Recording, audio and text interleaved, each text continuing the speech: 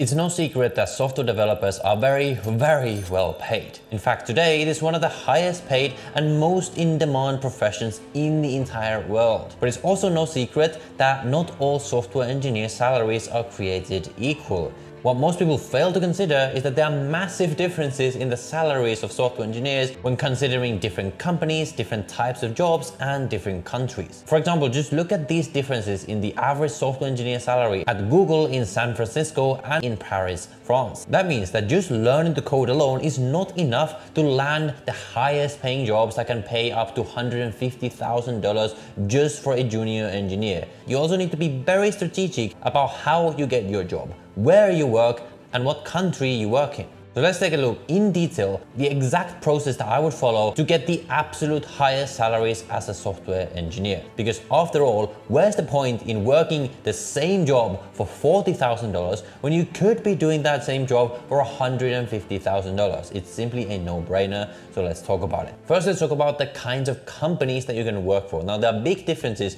between what I call big tech companies, so the Googles, the Metas, the Amazons, and like sort of regular big companies that have have tech jobs. You can think of like banks or just any corporation and then startups, so new emerging companies. All of these types of companies can pay extremely well, but they all have their different pros and cons. Now, it's probably no surprise that if you simply want to earn the highest possible salary, like the highest cash compensation, your best bet is going to be working for one of the big tech companies or the FAANG companies. But that doesn't actually mean that these are necessarily the best companies to work for if your goal is total net compensation throughout your career. And we'll talk about how in a second.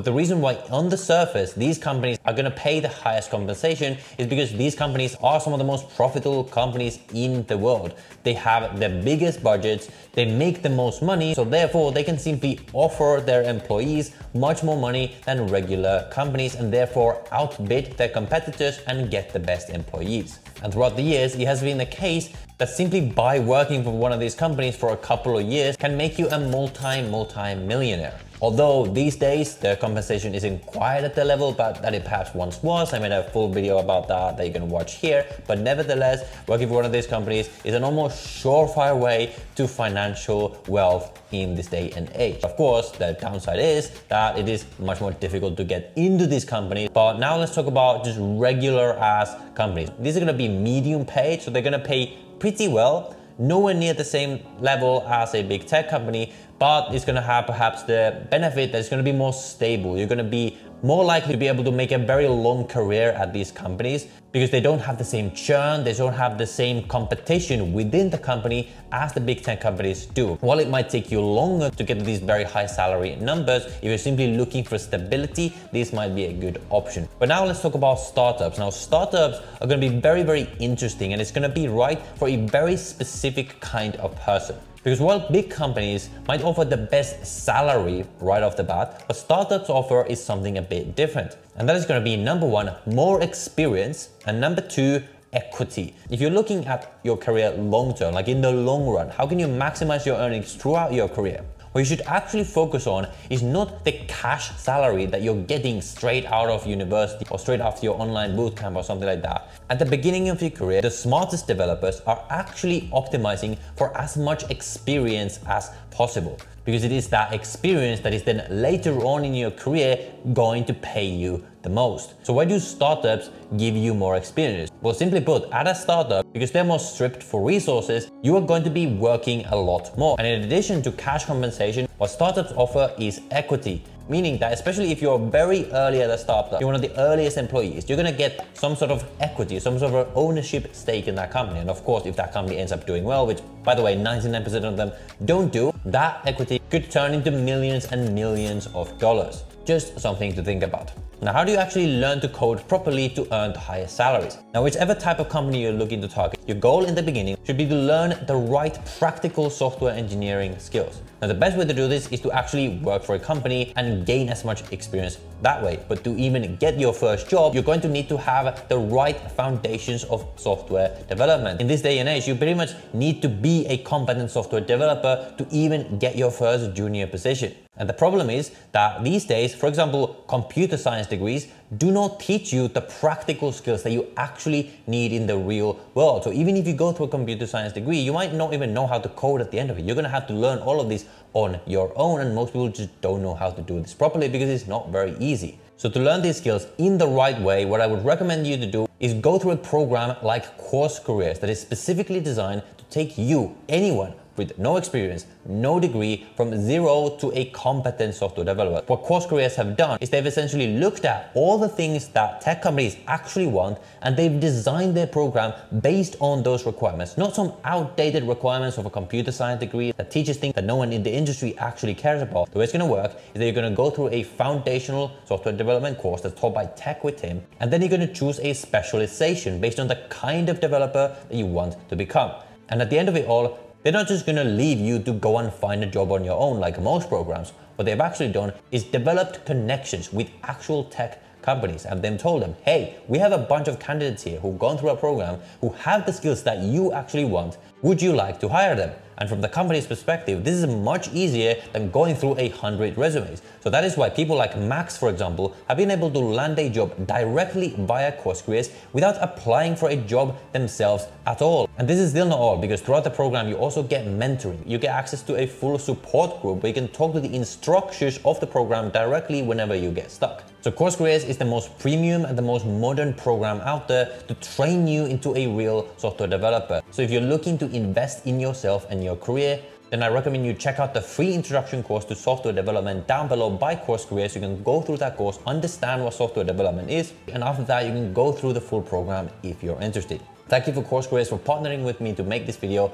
and now let's move on. So let's talk about what are the highest paid countries for software developers. So I did some analysis a while back on the average salaries across different cities across the world. And then I even calculated like the tax that you would pay, the cost of living, things like this. I leave the tweet where I share this screenshot down below in the description if you want to look at it. But just look at these differences. For example, the average gross software engineer salary in Seattle is $220,000.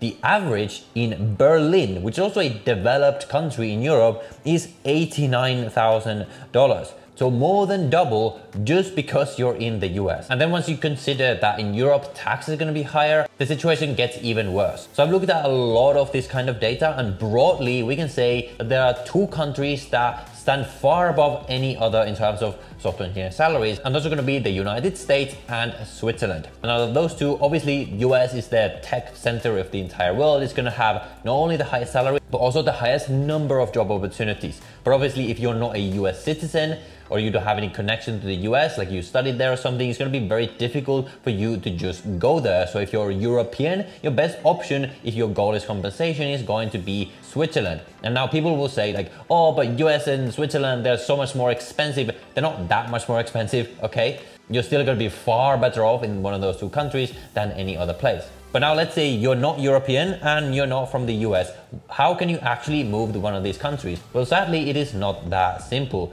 One of the other spaces where I'm sort of an expert in outside of tech is actually the space of moving internationally, setting up companies, residency, things like this. I have a second channel where I talk about all this stuff. And what I can tell you is that simply moving from one country to another is not always very simple, especially if you're trying to do that via working a job in that new country. If you're moving as an entrepreneur or a wealthy person, it's always going to be a lot more simple. But there are three broad ways that you can sort of get around this and actually manage to move to one of these countries. Let's say you're from a much poorer country like India or Southeast Asia or something like that. And the number one is going to be to study there and to get a work visa. So especially in the US, I believe if you study there, as in you get a degree there, after that, you're automatically gonna have what's called optional practical training that allows you to work in the country for three years. And at the end of that, hopefully if the company you work for likes you and things like this, they're gonna be able to sponsor you an actual, what you call the H1B work visa that's gonna allow you to stay in the country and work for longer.